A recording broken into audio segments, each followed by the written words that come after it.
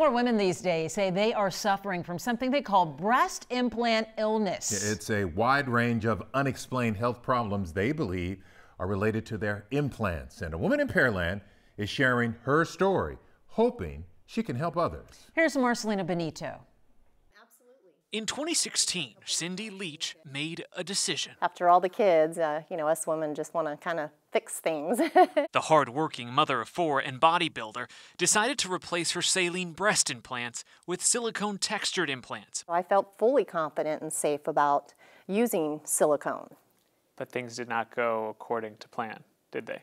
No. About two years later, her health dramatically declined. Two bouts of bronchitis, asthma, headaches, skin sensitivity, all of it seemingly out of nowhere. And then eventually, uh, every muscle in my body hurt from my head to my toe. She had no unusual symptoms in her breasts, but late this summer, friends and family encouraged her to see a doctor to get tested. I was told, well, go get a mammogram and ultrasound just to get your implants checked out. That mammogram changed everything. This is as bad as it gets because it's completely ruptured.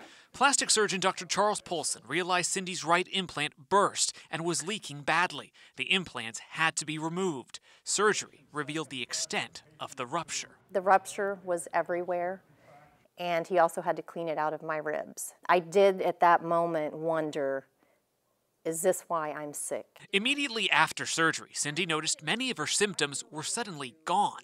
Dr. Polson says it's a pattern among women choosing explant surgery. I am seeing more of that over the past year. There, there have been an increase in number of patients complaining of breast implant illness, which is a relatively a new term. There's no real science yet linking Cindy and other patients' array of symptoms to implants. Breast implant illness isn't an official diagnosis or disease, but some women are finding removing the implants vastly improves their health. With uh, the severity of what happened, there's no way I would put a product back in me like that. Physically, she's recovering. Emotionally, the road will be harder. Every day is a new emotional and mental challenge.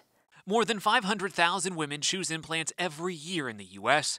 Cindy hopes women do their research and think twice about what they're putting in their bodies. Maybe my story can help another woman because I wouldn't wish this on any woman. If you have unexplained symptoms that you feel might be linked to implants, you can fill out this form and you can send it in to the FDA. We have a link to that form up right now on KHOU.com. Back to you.